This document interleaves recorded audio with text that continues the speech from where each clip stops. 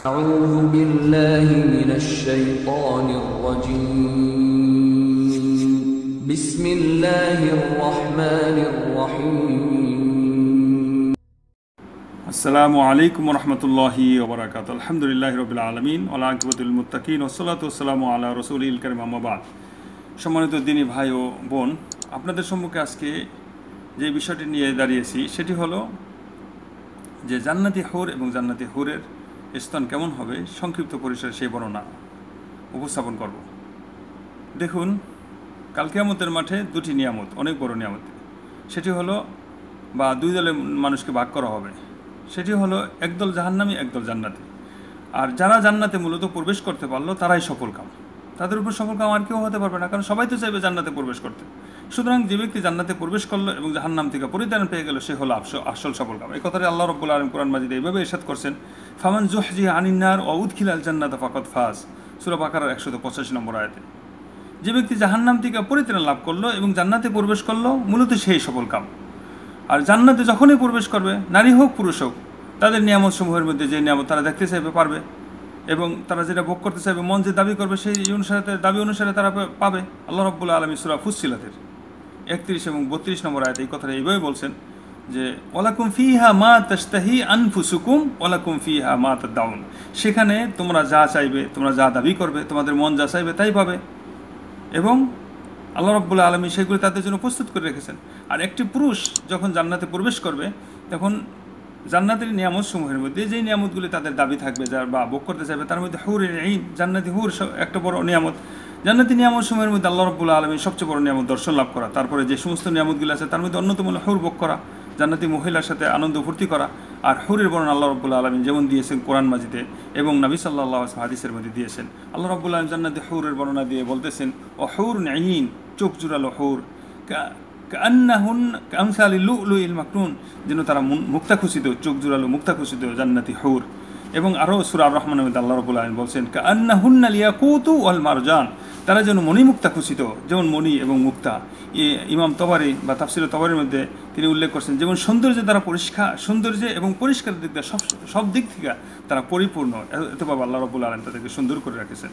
তাদের বর্ণনা সুরা রহমানে আল্লাহ রব্বুল্লা আলমিন আরও দিয়েছেন, বা পরিষ্কার পরিষ্কার সৌন্দর্যের ক্ষেত্রে তাদের বর্ণনা এইভাবে আছে যে ফি হিন্না খয়রতুল হিসান, তারা যেরকম সৌন্দর্য ভিতরে এবং বাইরে সব দিক দিয়ে সৌন্দর্য, পরিস্ফুটিত সৌন্দর্যে ভরপুর এবং তাদের বর্ণনা দিয়ে আল্লাহ রবুল্লা আলমিন আরও বলছেন যে, ক- ফি হিন্না খৈরতুল হিসান। ফি হিন্না খৈরতুল হিসান, তারা যেন সৌন্দর্য বা পরিপূ, বা সব দিক দেওয়া পরিপূর্ণ, ভিতরে এবং বাহিরে। এবং তারা কি? না, ইতিপূর্বে কোনো পুরুষ ভোগ করছে, না কোনো জিনদের মধ্যে কোনো পুরুষ স্পর্শ করছে, না ভোগ করেছে। এই জন্য আল্লাহ রব্বুল্লা আলমিন তাদের কথা উল্লেখ করে বলছেন যে ফিহীন না কসিরত উত্তরফ তারা লজ্জার কারণে তাদের চক্ষুগুলো নিম্ন দৃষ্টি সম্পূর্ণ এবং না ইতিপূর্বে না কোনো পুরুষ ভোগ করছে, যে মানুষের মধ্যে কোনো পুরুষ না স্পর্শ করছে, না জিনদের মধ্যে কোনো পুরুষ বা কেউ স্পর্শ করছে। এত সুন্দর আল্লাহ রব্বুল আলম তাদের ব্যবস্থা করেছেন। কসিরত উত্তরফ তারা হতে চক্ষু অবনমিত এবং তারা সুরক্ষিত তাবুর মধ্যে আল্লাহ রব্বুল আলমী তাদেরকে রেখেছেন আর তাদেরকে আল্লাহ রব্বুল আলমী সব দিক দিয়ে পুত পবিত্র করে সৃষ্টি করেছেন। আল্লাহ কোরআন মাজিদে এইভাবে সে বলেছেন যে, ইন্না ইনশা না হুন্না ইনশা আত আমি তাদেরকে নতুনভাবে সৃষ্টি করেছি। ও যে আল্না হুন্না আবকার তাদেরকে আমি আবকার, বাকেরা, অবিবাহিতা, সরসী নারী হিসাবে আমি তাদেরকে তৈরি করেছি, সৃষ্টি করেছি। অরুবান আত্রবা অরুবান আত্রবা দুইটি দুইটি গুণ এখানে। একটা হলো অরুবান আর একটা হলো আত্রবা। যেন অরুবান সোহাগিনী এবং স্বামীকে যে বেশি মহব্বত করে, বেশি আদর করে, সবসময় যে আদর করে, কোনো ঝগড়া নাই, বিবাদ নাই, হিংসা নাই, বিদে স্বামীর সাথে কোনো অভিমান নাই এবং আত্রবা এবং সমবয়স্কা তারা তাদেরকে আল্লাহ রব্বুল আলম এভাবে সৃষ্টি করছেন এবং তাদের বর্ণনা আরও সুন্দর দিয়েছেন। যেমন দুনিয়ার স্ত্রীদের মধ্যে একটু সমস্যা আছে, যেমন মাসিকের সমস্যা আছে, টয়লেট প্রস্রাবের সমস্যা আছে, অথবা নাকের ময়লাগুলো পুরুষ এবং মহিলা যে সমস্যা এইগুলি সম্পূর্ণ মুক্ত থাকবে আল্লাহ রব্বুল আলম এই বর্ণনাতে বলেন। ওলাহুম ফিহা আজওয়াজু মোতাহারত ওয়াহুম ফিহা খলিদুন। যে তাদের জন্য রয়েছে আজওয়াজু মোতাহারা, পবিত্র স্ত্রী। পবিত্র স্ত্রী বলতে কি? তাদের নাই টয়লেট তাদের নাই প্রস্রাব তাদের নাই ময়লা আবর্জনা, তাদের নাই মাসিক, তাদের নাই রক্তস্রাব বা মাসিক স্রাব নাই এবং তারা হায়েজ নেভাস নাই এবং তারা নাকের ছেলেমা অন্যান্য সকল থেকে পবিত্র থাকবে। আল্লাহ রব্বুল আলমিন তাদের পুরুষের জন্য জান্নাতি নিয়ামত সমূহের মধ্যে একটা বড় নিয়ামত সেখানে ব্যবস্থা করে রেখেছেন। এটি হলো জান্নাতি হরের বর্ণনা সংক্ষিপ্ত পরিসরে। তারপরে সুরা নামার মধ্যে, যেটা কোরআন মজিদের তিরিশ পারা সুরা নামার মধ্যে আল্লাহ রব্বুল আলম জান্নাতির নিয়ামতের সমূহের মধ্যে অনেকগুলি নিয়ামত উল্লেখ করার পরে হুরদের আরেকটি বর্ণনা সেখানে উল্লেখ করছেন অকাওয়া আইবা আত্রবা কা- কাওয়াইব অর্থ কাবের বহু বচন। আর কাব হলো উঁচু অংশ। যেমন আমরা কাবাগরকে কাবা এই জন্য বলা হয়, কাবাগরটা যেমন উঁচু দুদিক থেকে উঁচু, যেমন সম্মানের দিক থেকে উঁচু, আবার সে মর্যাদায় উঁচু, আবার ঘর হিসাবে উঁচু। তার উপরে তো কোনো ঘর ছিল না। এখন সে বড় বড় বিল্ডিং তৈরি হয়েছে। একসময় যখন কাবাগর প্রতিষ্ঠিত হয়েছিল বা প্রতিষ্ঠা লাভ করেছিল, প্রতিষ্ঠা করা হয়েছিল, তখন সব দিক দিয়ে উঁচু। সুতরাং কাবাগর হিসাবে সে কাব হিসাবে এই জন্য বলা হয় উঁচু অংশ।